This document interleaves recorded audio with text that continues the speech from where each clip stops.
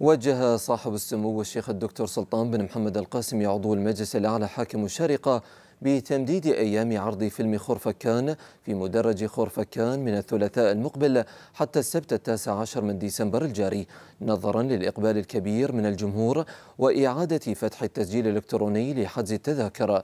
هذا وتعرض هيئة الشارقة للإذاعة والتلفزيون وبالتزامن مع افتتاح مدرج خورفكان الفيلم السينمائي التاريخي خورفكان المقتبس من المؤلف التاريخي لصاحب السمو الشيخ الدكتور سلطان بن محمد القاسمي عضو المجلس الأعلى حاكم الشارقة مقاومة خرفكان للغزو البرتغالي.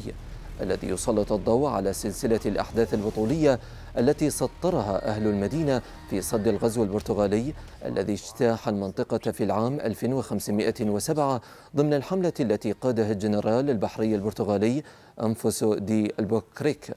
كما يروي سيرة المدينة خلال 27 عاما وكانت هيئة الشارقة للإذاعة والتلفزيون الجهة المشرفة على إنتاج العمل قد أعلنت عن نفاذ جميع تذاكر الفيلم المجانية الخاصة بالعروض التي يستضيفها المدرج من الخامس عشر حتى السابع عشر من ديسمبر الجاري من الساعة السابعة والنصف حتى التاسعة والنصف مساء فيما سيكون موجودا في دور السينما المحلية ابتداء من السابع عشر من ديسمبر الجاري.